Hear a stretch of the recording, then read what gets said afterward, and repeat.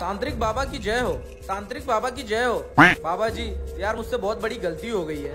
बोलो बालक क्या समस्या है तुम्हारी? हुआ यूँ कि मैं एक दिन लाइब्रेरी गया और वहाँ पे पढ़ते पढ़ते बहुत ज़्यादा टाइम हो गया। अच्छा। तो मैं जब वहाँ से निकल रहा था तब तक बारिश शुरू हो गई तो मैं वहीं पे रुक गया। तो मेरे साथ ना लाइब्रेरियन भी रुक गई उसको भी लेट हो गया था। तो हम बात करने लगे और वो आकर्षक भी दिखती थी। तो बात करते करते बात इतनी आगे बढ़ गई कि मुझसे कुछ गलत हो गया।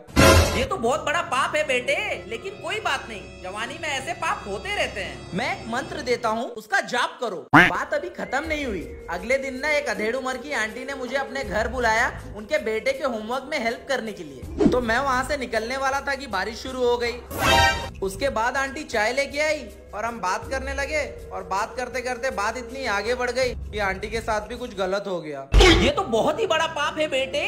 एक काम करो तुम इस मंत्र का जाप 420 बार सच्चे दिल से करो। अभी रुको।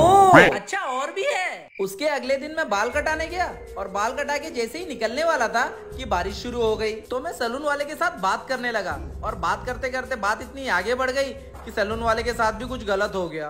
अब अगर आपके पास कोई मंत्र है तो बताओ। बेटे, मंत्र मंत्र क्या भाड़ में तू जल्दी यहाँ से निकल जा, उसके पहले की बारिश शुरू हो जाए।